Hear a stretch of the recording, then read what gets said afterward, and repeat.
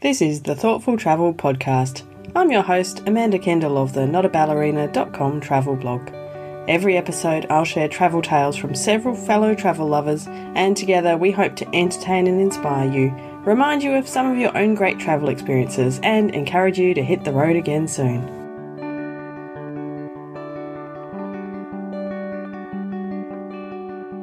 Hello and welcome to episode 67 of the Thoughtful Travel Podcast.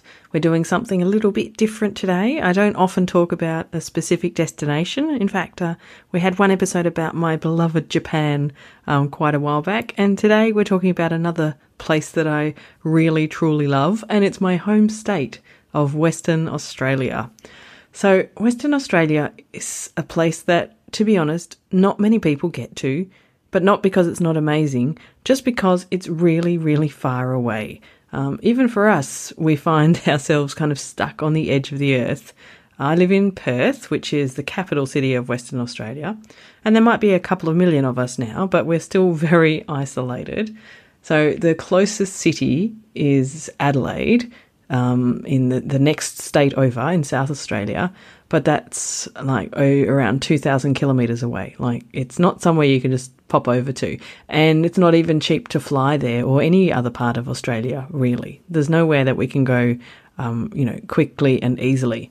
We're, you know, kind of stuck here unless we make a deliberate effort to get out. Um, but despite that, or maybe because of it, Western Australia is an incredible place. So it's vast. Um, I saw a statistic online that we have um, 12,500 kilometres of coastline just on our state. So wherever you're living, you probably have less in your state. Um, unless you are living in, you know, the whole country of Russia and a few others will have more coastline. But this is just our state. Um, and we have just endless, endless, well, amazing beaches, to be honest. It's such a beautiful place. Uh, but yeah, WA, Western Australia, is so big and empty. I also saw a stat that if WA was a country, it would still be in the world's top 10 for size. So the top, one of the top 10 countries in the world, uh, because it is enormous. Um, but it's enormous and empty. Despite that, some of my guests, or in fact, all of my guests today have been to Western Australia, and two of them now live here. Uh, and it was really interesting to hear their various takes on what is worth seeing and what is beautiful about WA. And fortunately for me, they were all very enthusiastic about it. Uh, so I will start off by introducing our first guest, Zoe Dawes of The Quirky Traveller. So I've known Zoe for years online, but I was very, or we were both lucky perhaps, to meet last year in person because she was brought out to do a, a blogging trip around some parts of WA and we got to spend some time together. And this is her reflections after the fact of what she liked about WA. It was the familiarity and the unfamiliarity. That was what I think impressed me about that area because we did, um, I did the sort of Perth Fremantle, then down to Margaret River and the wine region and the food area. And we went out and about. Um, we had a great day out, sort of, you know, canoeing down a river and walking along the coast. Uh, that side of it was, was kind of familiar in an unfamiliar way because obviously the, the, there, there are the vineyards and everything which are, are fabulous. They are not the same, but similar to ones we have in Europe, even mm. even in southern England now, but with that Aussie twist, you know. Um, and then we, we went and had a, we went to a cave Ngilgi Cave. Yeah, Ngilgi Cave. Yeah, yeah, yeah, and had a wonderful experience there with a, a, a, an Aboriginal guy there who who played the didgeridoo inside the cave, mm. which was mm. just mind blowing, magical. Um, it was, but I think probably for me, Rottnest Island, Rotto, it kind of encapsulated something because, well, it had got everything that ticked my boxes because it was well the sun was shining amanda as you know because you were there. I mean it did pour with rain didn't it at first? we, yes we had some dodgy moments but thankfully it got better. It got better. Um, it was beautiful you know that and that sort of pristine kind of beaches that i think of with australia. Mm. It had got the quirkiest animal, you know, the quirky quokka. so it's got an animal that I've never seen that you could get really close to and have, you know, have a have a sort of. Well, I never managed a selfie, but then no, me neither. Selfie, but... but there you go. Others did. Yes. Um, had some good food, really fresh seafood, uh, but also there was the history there. Obviously, it was a Aboriginal detention centre, prison um, mm. as well, and that was you know that was interesting to see. I thought the exhibition in the museum was really powerful. Mm. The stories from there, and obviously still being able to see the buildings, and that one of them is now a tiny, teeny little cinema, and um, you know that it was small enough to walk around or cycle around. Um, it had got that island feel, but very Australian feel as well. So to me, it encapsulated everything. Um, I absolutely loved Perth. I thought it was a really beautiful city. Um, not just because the sun finally shined properly. you know, we had the um, uh, we had a talk from um, Walter about mm. the Aboriginal culture of the area, which was very interesting uh, but also that wonderful modern architecture, um, the beautiful parks and everything. So a really, a really interesting place, and, and actually not really what I expected. I have only been to Australia twice. So once was to Darwin, Uluru, and Alice Springs, which is obviously very different. I yes. haven't been over to the um, east side. Or I haven't been to Sydney or anywhere. Um, ah, but oh, I haven't been yeah, to our yeah our big no, cities, so yeah, no, ah, no. So I've nothing to compare that with. Mm. But I like the laid back atmosphere of Perth. I I like cities if they're laid back. I don't like stressy cities, and yeah, um, yeah. I like a bit of space, and I like cities on the water. So you know, it was friendly, it was laid back. But but yeah, I think I think um, Rottnest Island was just sort of encapsulated everything, and I would have very happily stayed there for a few days mm. and just chilled. Yeah, absolutely. Yes. Ah, no, I think you've um, you've explained the way I feel about WA as well, and I think you're right. Rottnest does kind of have all of the good bits all in one, and it's such a chilled, relaxed place. Mm. Um, with yeah, it's it is very typically Aussie. So um, yeah, I love it there. So I'm glad you got to experience it, but you'll have to come back and spend like a week there at some stage. It's the ultimate yeah. place to relax properly. I was really pleased to hear how much Zoe had enjoyed Rottnest, or Rotto as we call it, and how much it impressed her because it really is a pretty unique and enormously beautiful place. And it's not one of those places where you go and rush around and see lots of things. It's just a small island. You can cycle around it in half a day or less. Uh, it's casual, it's friendly, it's laid back. And I think it really says a lot about what we aspire to be as Australians, and particularly as Western Australians stuck over here at the end of the earth. So, um, Rottnest is a really special place to me.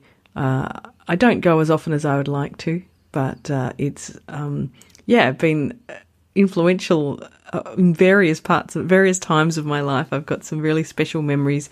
Um, odd things, for example, oh, must be getting on towards 20 years ago. I was working as a research assistant at one of the universities here, and uh, my boss at the time got together a bunch of academics from around the world who were all researchers in the same field, and he decided we'd all go to Rottnest Island for a week to write a book. So um, I think there was probably, if I remember rightly, maybe seven or eight academics from uh, Australia, UK, and the US. And we uh, rented some houses there and spent a week uh, in creative contemplation, which is, and Rottnest Island is a perfect place for it. And of course, the people who'd come from from interstate and abroad just loved it. And that was a yeah, a really unique way to spend some time there. I've been there on school camps, I've been there with friends, I've been there with my son and it's just every trip is different and every trip is thoroughly enjoyable. So Ah, it's such a beautiful place. I'll leave a link in the show notes to one of the posts I've written about Rottnest so you can get a feel for it um, visually as well. Now, my next guest today is Jo Castro of Lifestyle 50. Uh, now, Jo's a lovely uh, bloggy friend of mine, um, and we met, I think, wouldn't be too long after she moved to Western Australia. She has lived in many places around the world. Um, we had a long chat recently, and she will pop up in some more episodes in the future, I am sure, uh, because she has so many interesting tales to tell. but um, she and her husband have moved around a lot, lived in all kinds of different places. So the fact that she really likes Western Australia with all her different experiences, well, it really says something. When did you first arrive in Western Australia? How long have you lived here now? Um, we arrived in Western Australia in 2009, in January 2009. 2009, so okay, so eight, going on nine years here. Going on nine years, and that's amazing. That's the longest we've lived in any one place ever since we were married. Yeah. yeah, well, I bet, because otherwise you wouldn't have had time to be in all these other countries. So, yes, no. that is long. Um, so, so tell me, what do you like about Western Australia? Oh, there. How how long have we got? Um, we, I think we abs- we love the scenery. Um, we love the people. We really love the the fact that it isn't crowded, and mm. I think mm. it's made us quite um, crowd phobic. Having lived lived this side, we're very conscious of crowds now wherever we go, and it's so lovely to get back here and be on an open road where you can actually, you know, put cruise control on and just go for a couple of hours on cruise control, and then duck off to see see see some amazing places and beaches where there's only only you perhaps, and mm. um, forests where you're walking and it's only you, so you better not get lost. Um, you know, I think that just this vast expanse of of country, which isn't um, lots of people think of Western Australia and say, oh, you know, isn't it all flat and isn't it all desert? And they really have no concept of how varied it is and what um, biodiversity we've got here. And, mm, um, you know, and it's still so much, so fresh and new, a lot of it. I, I, mm. I love that. Mm, uh, yes, exactly. Because it's so vast, then it does cover uh, you know, a range of climates and, and a range of geography and, and all kinds of um, not a not a big range of people. We're not uh, we don't have many people, but um, no, yeah, but we have everything yeah. else. So, um, yeah. where would you recommend a visitor to Western Australia? Um, what are your kind of top two or three places that you would send them to?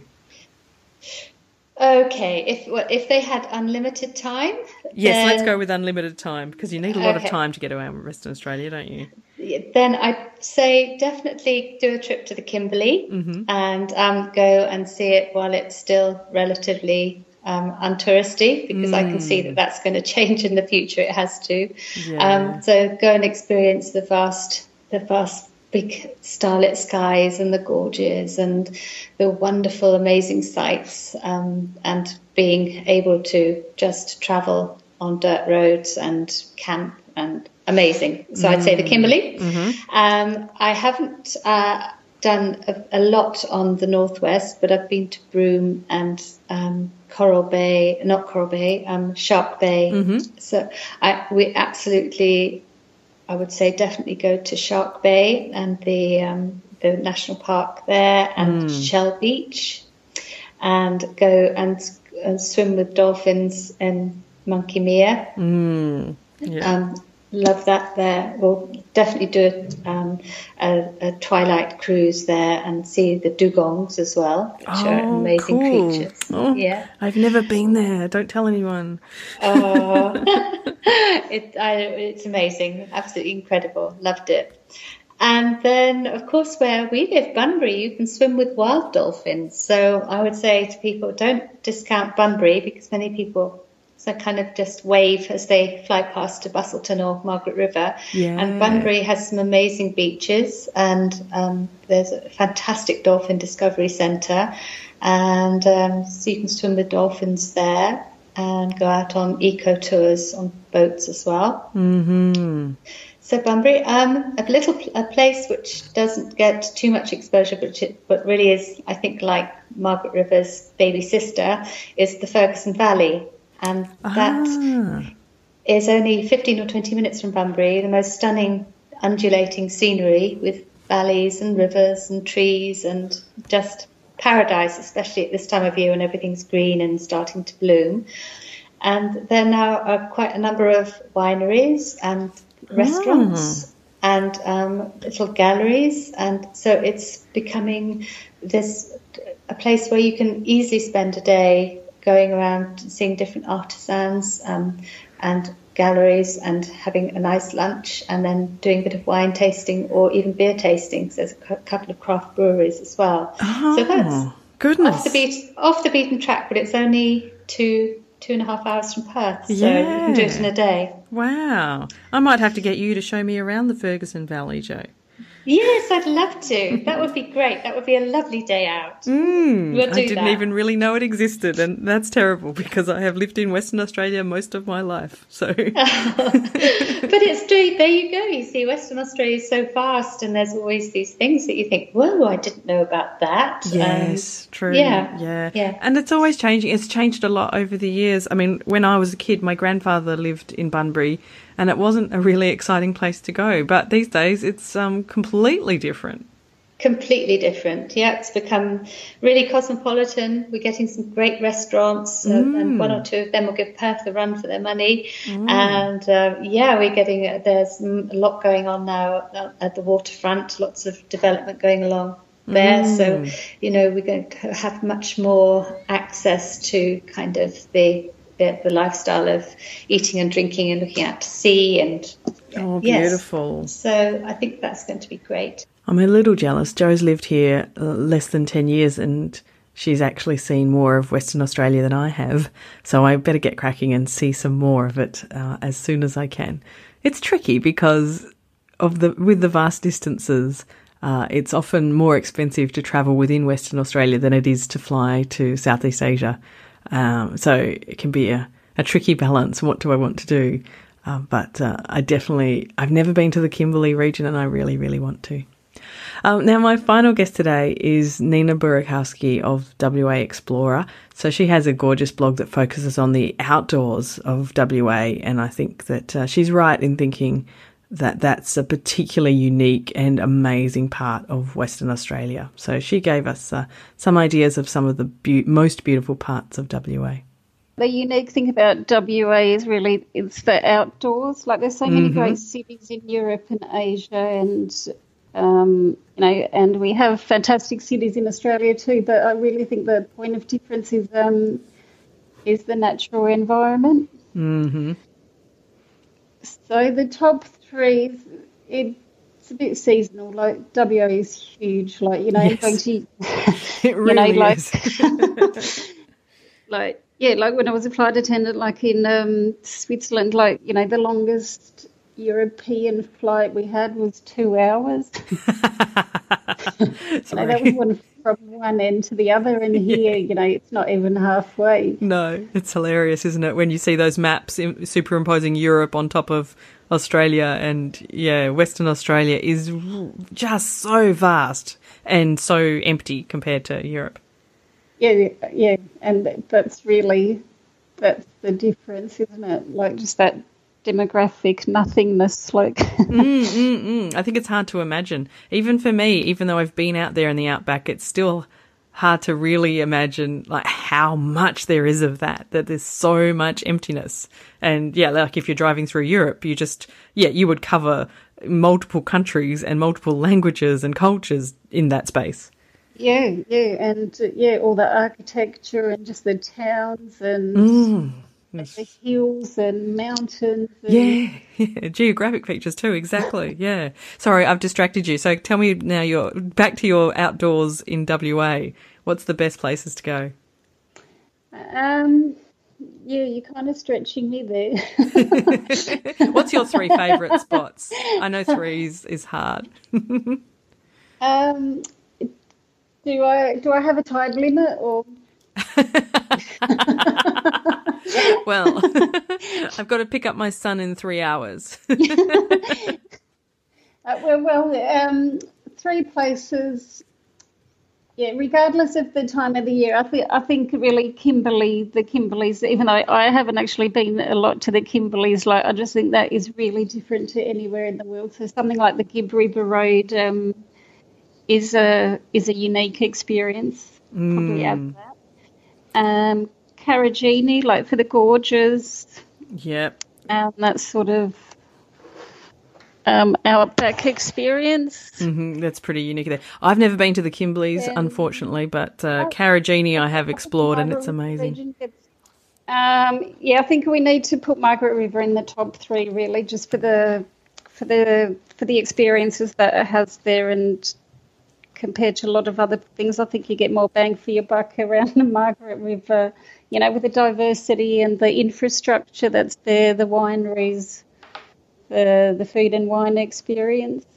Yeah, it's pretty amazing down there, isn't it? I hadn't been for a while, and I went um, to I went to Busselton for school holidays earlier this year, and um, went to a couple of wineries down towards Margaret River as well. And I'd I'd kind of um, I'd kind of thought people had been just overrating it in the way it had been becoming more sort of famous and well known, but it really is a beautiful part of the world.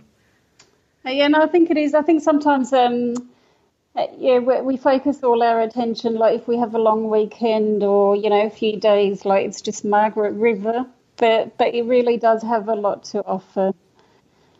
Um, and I think one of the places that probably doesn't get enough attention is the wheat belt and um, Kalgoorlie. Like, you know, there's so much history there from our um, sort of gold digging days, and because mining is such a huge thing in WA. Mm um, I think that's that is also kind of a unique experience because, like, for many Europeans, like you know, if I talk to them about mining or you know, that they really have no idea what it is. So I think. Mm. Yeah, to go to Kalgoorlie and see the big pit, for example, that's a pretty impressive feature. Yeah, and that yeah, yeah, I think it is like um, yeah, it's something different. Yeah, and you're right. Like it's a really important part of, of Western Australia's identity. Is you know a lot of our wealth is built on mining, so it's um yeah, it's an important part of our culture. Having said that, probably a lot of people in Perth don't have much experience, direct experience of those towns either, but we should. No, probably not. Yeah, my, my, only sort of experience really came from a high school camp. oh, really? That's cool. Yeah, and then, and then you sort of forget about it, and you, it doesn't really register.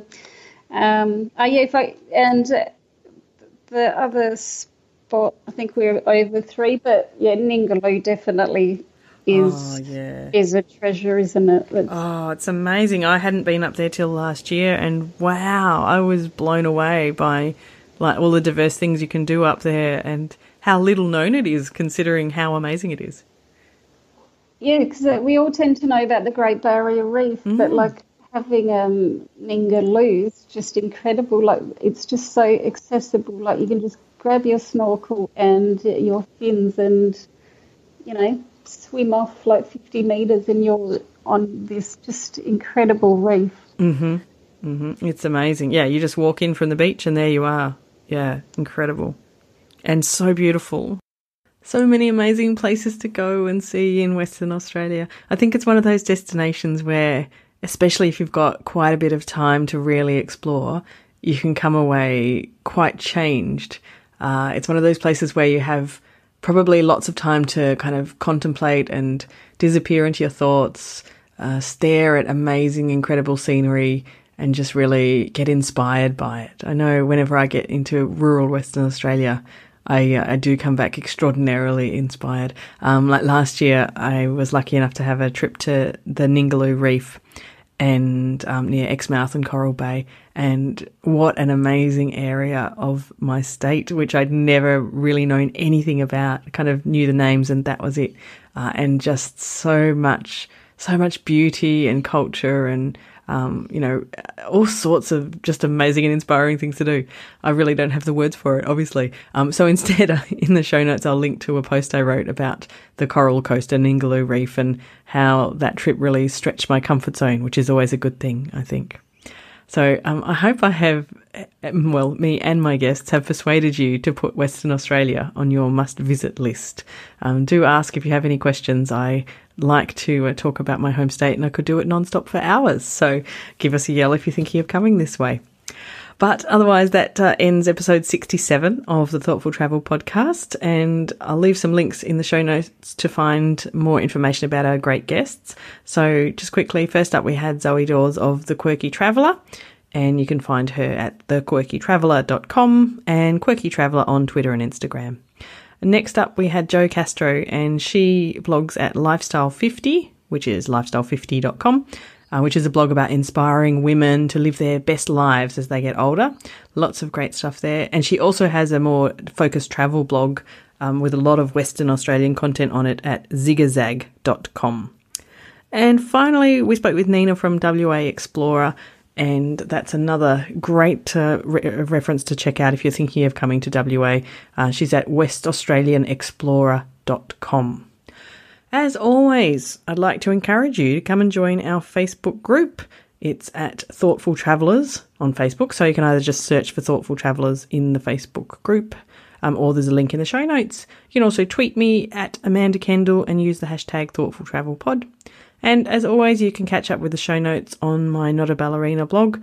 And today they'll be at notaballerina.com slash 67. And I look forward to hearing your thoughts and questions about Western Australia. This has been another episode of the Thoughtful Travel Podcast. Show notes and other information are at notaballerina.com slash podcast. Join me again soon for another chat about why we travel. Bye for now.